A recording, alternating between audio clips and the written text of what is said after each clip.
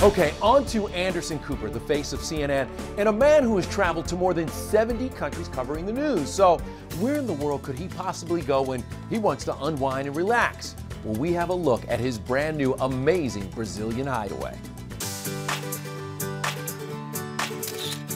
We see a side of Anderson that we rarely see on the news. We see him relaxing at home, reading a book in a hammock, really decompressing from the world.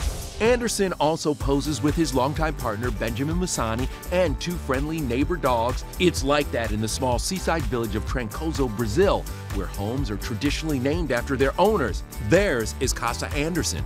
Anderson first visited Trancoso with his partner Benjamin and their friend Andy Cohen.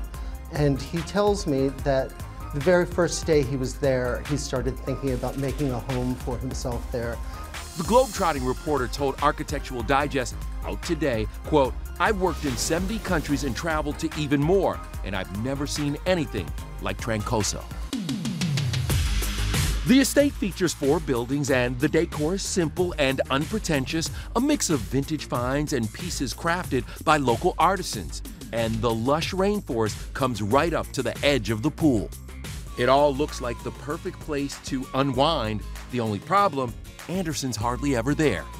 Anderson confessed that he doesn't get there as often as he'd like, maybe three weeks a year and a few weekends. But he says that just knowing that the place is there and that he can get to it makes him happy. He keeps a picture of the property in his office here at CNN. It's a spectacular home, but no easy journey to get there.